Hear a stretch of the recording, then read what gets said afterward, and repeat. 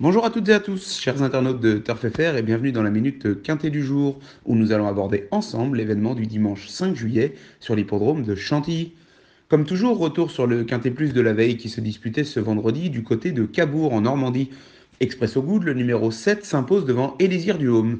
Top Prono réussit à donner le tiercé dans le désordre qui fait tout de même plus de 175 euros et 60 centimes. Chez nos amis du concours de pronos gratuit, deux pronostiqueurs ont réussi l'exploit de marquer plus de 500 points. Il s'agit de Ratatouille et Neo 07 qui donnent le tiercé ainsi que les bonnes bases gagnantes et placées, ce qui leur permet d'occuper les deux premières places du classement du jour. Bravo à tous les deux. Allez, abordons maintenant le tiercé quarté quinté plus du jour, en l'occurrence celui du dimanche 5 juillet 2020. Le prix du Jockey Club, quatrième épreuve de la Réunion 1 disputée sur l'hippodrome de Chantilly donc, verra les meilleurs trois ans français se regarder dans le blanc des yeux face à des Européens haut dans longue.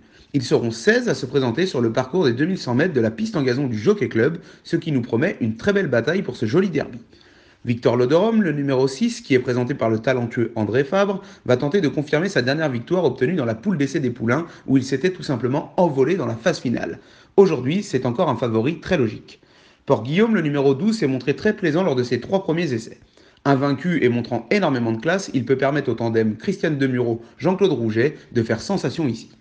Pao Alto, le numéro 17, a fait une très belle accélération dernièrement pour s'imposer.